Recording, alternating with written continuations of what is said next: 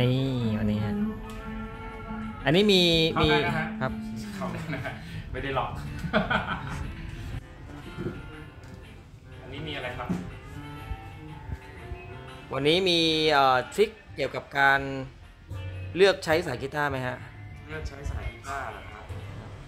ไม่มีครับ ไม่มีเนาะแต่มีมีทริคที่พูดเมื่อกี้ดีกว่า อ่าอ่าครับจะบอกว่าถ้ากีตาร์โปร่งนะครับที่เหมือนพวกมีเคียโซ แบบเนี้ยอืมเออถ้าถ้ามันไม่ได้พังหรือว่ามีที่จำเป็นอะไรเนี่ยเวลาเราเปลี่ยนสายเนี่ยหลายคนชอบถอดสายออกหมดเลย อืมอืมแต่ในความเป็นจริงแล้วเนี่ยมันไม่ควรถอดออกออกหมดอ๋อยกเว้นว่าอันเนี้ยเราออกมาทำความสะอาดอะไรอย่างเงี้ยแล้วอยู่กับช่างอืมเออมันก็จะแบบว่ามันน่าปลอดภัยหน่อยแต่ถ้าทำเองเนี่ยเวลาเปลี่ยนสายควรจะถอด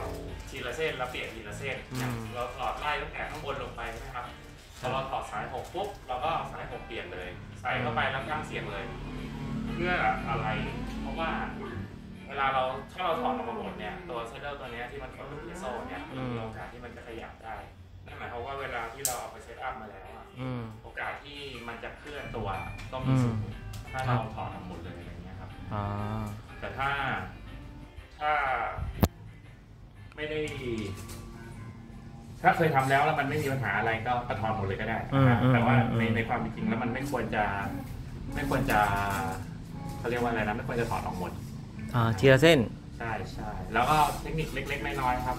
สายกีตาร์เนี่ยเวลามันมา มันจะมาอย่างนี้ใช่ไหมตรงๆใช่ไหมครับ เออเราก็จะเราจับหางปลาตรงนี้นะครับ จับตรงรูมันสองข้าง อืมนะฮะอย่างเงี้ยฮะแล้วเราก็หักลงมานิดนึงอืมให้มันเป็นอย่างเงี้ยครับ อ่าอ่าอันนี้หักแล้ว แล้วเวลาเราใส่มันจะ ให้ให้ทางที่มันงออย่างเงี้ยครับ ให้มันงุ้มเข้ามาด้านด้านของกีตาร์ตัวตัวล็อกพินมันจะได้ มันจะได้บุกเข้าไปแล้วแบบลงไปอย่างเงี้ยเห็นไหมพอสายมันลงไปปุ๊บพินมันก็จะวืดลงไปเลยเนี่ยอ๋อนะฮะตัวหมุด ตัวหางปลามันก็จะเข้าไปล็อกอยู่ด้านใต้กับข้างใน อืมอืมอืมอย่างแข็งแรง ว้าวแจ๋วนะครับเป็นเทคนิคเล็กๆ น้อยๆครับ ครับ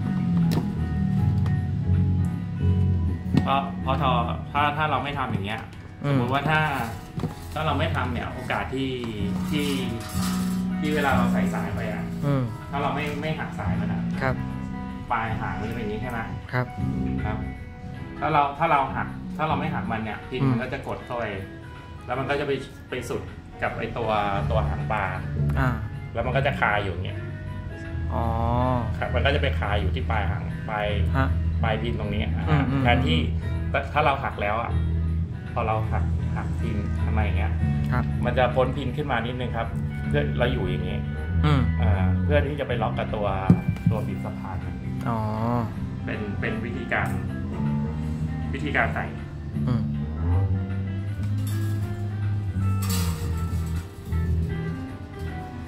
นี่ฮะอันนี้ก็ใช้น้ำยาทำความสะอาด ที่ร้านเรามีจำหน่ายก็คือ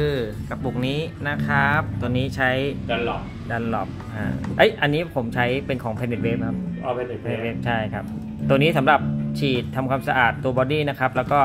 อันที่ชุบชีวิตให้กับฟิงเกอร์บอร์ดเลยก็คือตัวนี้ฮะนี่ตัวนี้อ๋อดัเห็นนหลไหมอกอันนี้พี่เอาไปทำอย่างอื่น ใช่ครับอ๋อไม่เงินไม่เกี่ยวกันกับอันนี้นะนี่ฮะเนียนเลยเป็นไง แต่ตัวที่ชุบชีวิตให้ช่างอีกทีหนึ่งก็คือตัวนี้ฮะตัวนี้อ่าครับผมเย็นๆเลย เย็นๆเลยนะฮะเปรี้ยวๆเลยเอ้ยมีมีมีแช่เย็นๆไหมฮะมีครับมีเอาเอาสักขวดนึงก็ได้อ่าได้ได้ครับได้ได้โอเคได้ครับ นี่ฮะสัญชาตญาณช่างนะครับ เห็นแล้วมันอดไม่ไหวมันต้องสักหน่อยเปลี่ยนไปห้าตัวอีกตัวหนึงไม่ได้เปลี่ยนอ๋อถอดไม่ออกใช่ ใช่ครับ ตัวลูกบิดตัวลูกบิดที่อยู่อีกตัวหนึ่งมันถอดก็แนวหัวมันไม่เหมือนกันเหมือนมันเป็นขี้เกลือมันถอดไม่ออกดึงไม่ออกอืมน็อตออกแล้วแต่ถอดถอดตัวตัวบิดโอ้อันนี้ใกล้จะพังแล้วนะเนี่ยสายห้าลูกบิด